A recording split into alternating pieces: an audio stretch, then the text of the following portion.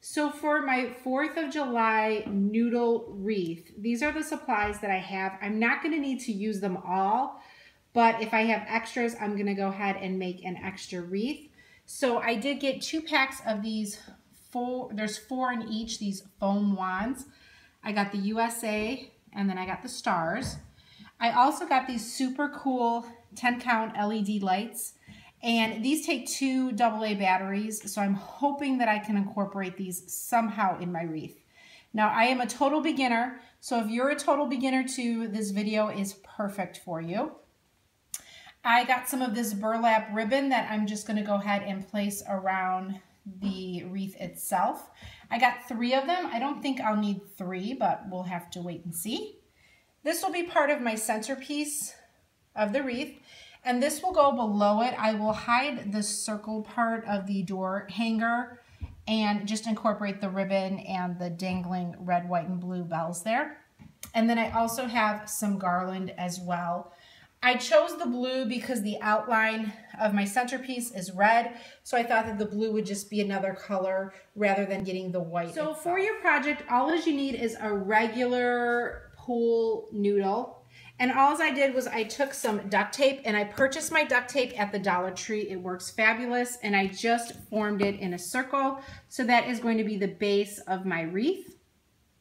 For your project, guys, you will want to have some kind of a glue gun. It doesn't have to be a fabulous glue gun. And if you don't have one, my Dollar Tree does not sell the glue guns. So this particular one I did get at Michael's and it cost about $2.99 but it's going to be something that you're going to be using for future projects, so it's a good investment. But the Dollar Tree does sell the glue sticks, so it's always good to grab an extra bag or two to have for other future crafts that you may be doing.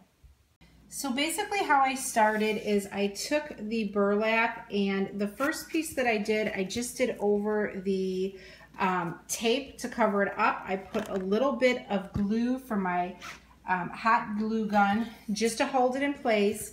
And then what I'm gonna do is I'm just gonna keep wrapping it around the noodle until it's filled. We'll see how many rolls this takes. I'm not sure how many it's gonna take, but this should be a super, okay, super took exactly two rolls of the 4th of July burlap. It came out really good. Again, this is my first homemade wreath. So it's got a nice circular form. I just kept it tight so that um, it was covered good and that it was stable. So let's go into decorating with some of our 4th of July um, items. Okay, so this is going to be my centerpiece. And what I did was took that one decoration, that 4th of July decoration, and then I took the door hanger and I hot glued it to the back of it. So it's going to give it a little jingle jangle there and a little uh, noise when someone opens the door just to give it a little bit more of a festive look. Okay, so here's where I am so far. I glue sticked that top piece along with that door hanger piece there. And then at the bottom, I put a USA. I took from those foam sticks, I took the sticks off and just used the USA.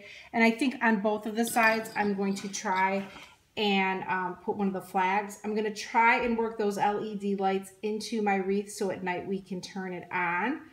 Again, this is my first wreath, so it's looking okay. I'm so far pretty happy with it, so we'll see how the lights go.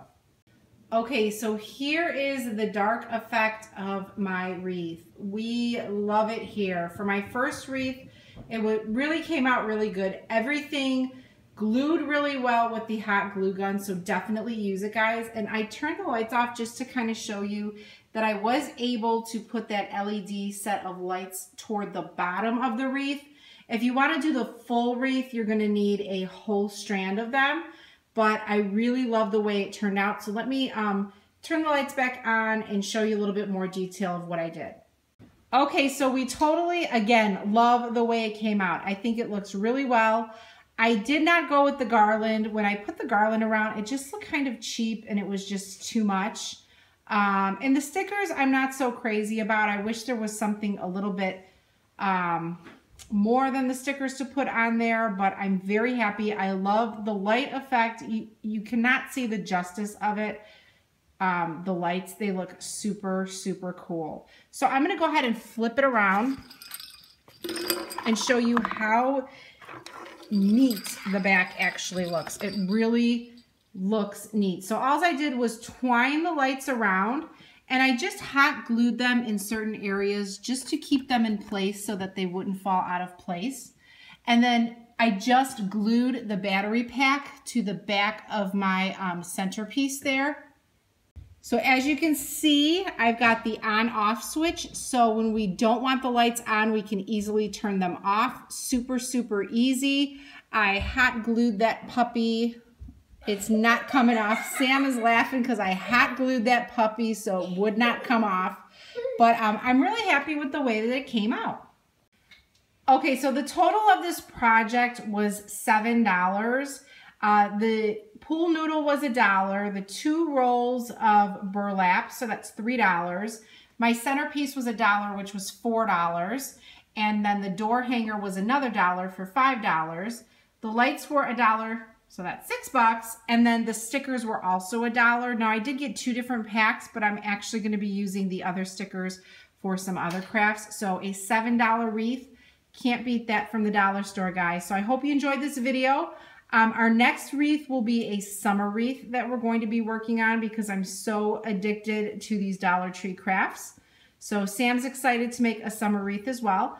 So join us for that craft. And literally, guys, this took about a total of 15 minutes to make. 15 minutes. So if you have a neighbor or someone at work that you just want to give a little DIY gift, perfect. Perfect, perfect, perfect. So thanks again for watching, guys. Bye-bye.